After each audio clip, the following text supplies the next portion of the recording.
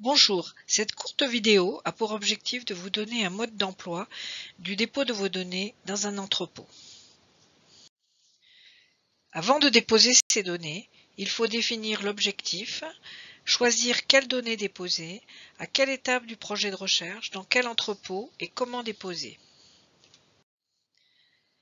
Nous allons voir les différents enjeux du dépôt de données. Pourquoi déposer? Comme pour les publications, le dépôt des données augmente la visibilité de la recherche. Cela assure un archivage à long terme des données. On estime que 20 ans après publication, 80% des données seraient perdues. Cela répond aux exigences des financeurs et permet la réutilisation des résultats antérieurs. Cela favorise les collaborations, les partenariats, la transdisciplinarité, l'innovation et les relations sciences-société. Le choix des données à déposer doit prendre en considération plusieurs critères. Les aspects légaux, droit d'auteur, l'intérêt scientifique. S'y joint un exemple de liste de critères. Quelle que soit leur typologie, toutes les données sont susceptibles d'être déposées et peuvent avoir un intérêt pour l'utilisateur. Données brutes, traitées, analysées. De nombreux types de fichiers sont acceptés. Le dépôt et le moment du dépôt doivent être prévus dès le début du projet. Il peut se faire à différents moments, mais toujours après avoir élaboré un plan de gestion des données.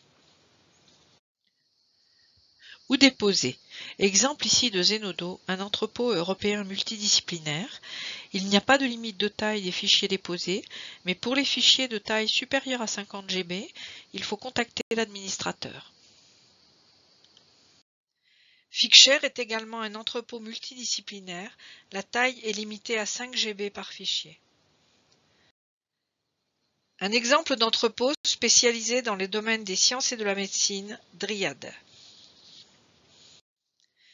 Où déposer? Les entrepôts peuvent être recommandés par la discipline, l'organisme de rattachement, par un consortium, par l'éditeur ou par le financeur. Si on a le choix de l'entrepôt, il est important de voir s'il répond à certains critères, s'il correspond à la discipline, si les données sont conservées à long terme, si on peut modifier les données, si on a le choix des licences, si on a un identifiant pérenne, etc. Une fois que l'entrepôt est choisi, il faut vérifier que les données soient bien prêtes à être déposées. Vous trouvez ici une checklist qui vous y aidera. Enfin, il faudra protéger vos données en leur attribuant une licence de diffusion. Plusieurs types de licences sont disponibles et notamment les Creative Commons. En conclusion, nous avons rapidement fait le tour de toutes les informations nécessaires au dépôt de vos données. Alors, vous pouvez déposer. Pour en savoir plus, vous trouverez ici quelques liens utiles. Merci de votre attention.